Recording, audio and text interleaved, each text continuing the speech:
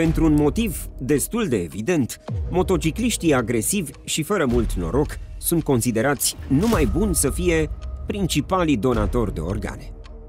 Nu mai este cazul, cel puțin în Elveția, care a votat în decembrie 2021, în cadrul unui referendum validat de 60% dintre alegători, că fiecare persoană devine, după moarte, un potențial donator de organe.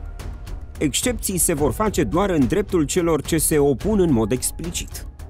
Autoritățile sanitare consideră acum că cei care nu și-au exprimat clar dorința și-ar fi dat, de fapt, acordul implicit.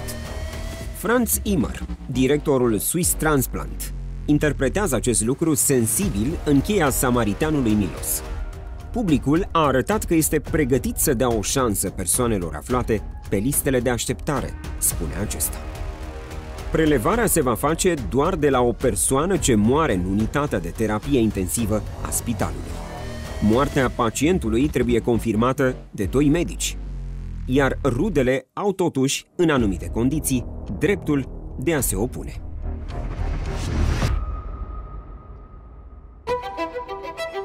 Mai noul pachet legislativ al progresistei țări a cantoanelor n-a simplificat lucrurile pentru toată lumea.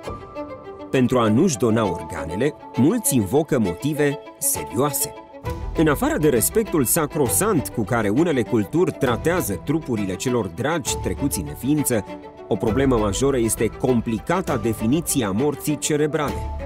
Cine poate garanta că pacientul cu acest diagnostic nu și-ar mai fi putut recăpăta vreodată cunoștința? Iar dacă între timp organele i-au fost prelevate, aceasta n-a constituit totuși o crimă? Un alt mare nord gordian îl reprezintă existența infamei piețe negre a traficului inechitabil, care aduce beneficii cu prioritate tot celor bogați. Permiterea practicii vânzării de organe nu implică de fapt ideea că persoanele au un preț, chestiune de altfel incompatibilă cu demnitatea umană.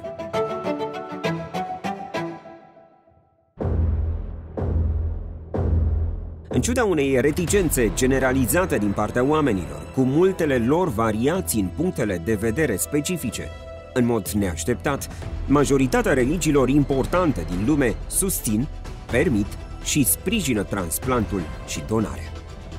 Donarea este privită în general ca un act de dragoste și caritate. Legendele hinduse au exemplele lor numeroase de donare și transplant, așa că acest concept este încorporat adânc în psihicul hindus.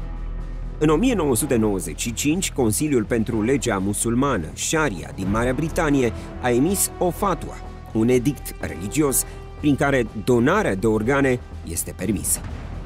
Vaticanul sprijină de asemenea donarea de organe pentru toți catolicii și o consideră un act de înaltă compasiune altruistă.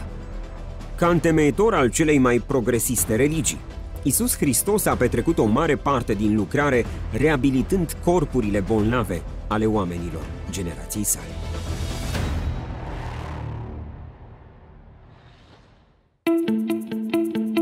nu par să existe interdicții biblice privind donarea de organe, deoarece aceste daruri acordate de donatori pentru a îmbunătăți, promova și prelungi viața pot fi puse oricând în ton cu altruistele idei biblice. Nu opri o binefacere celui ce are nevoie de ea când stă în puterea ta să faci lucrul acesta.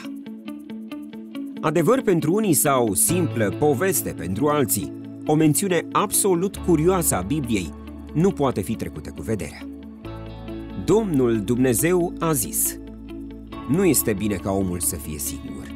Am să-i fac un ajutor potrivit pentru el. Domnul Dumnezeu a trimis un somn adânc peste om și omul a adormit.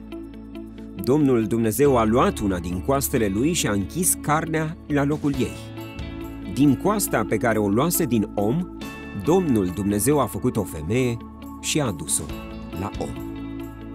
Să însemne aceasta că Adam a fost primul donator de organe din istoria omenirii? Sau că Dumnezeu a fost de fapt primul prelevator?